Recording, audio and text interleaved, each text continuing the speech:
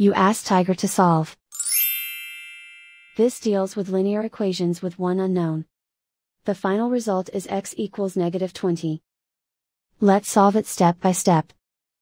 Simplify the expression. Break up the fraction. Find the greatest common factor of the numerator and denominator. Factor out and cancel the greatest common factor. Expand the parentheses.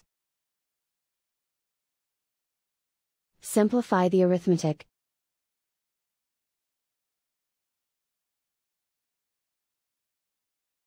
Group all x terms on the left side of the equation. Subtract 3x over 2 from both sides. Group like terms.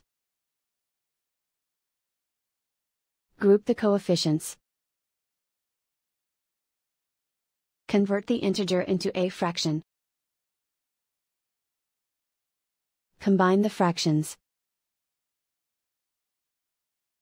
Combine the numerators. Group like terms. Combine the fractions. Combine the numerators.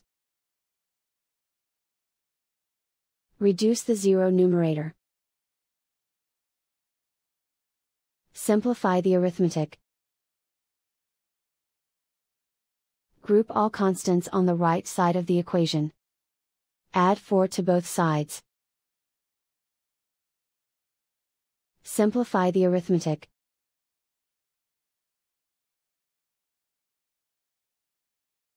Isolate the x.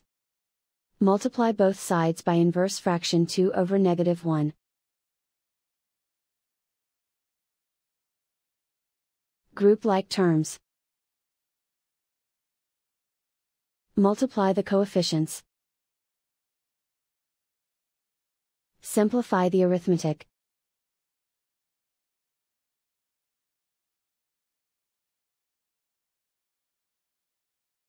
And so the final result is x equals negative 20.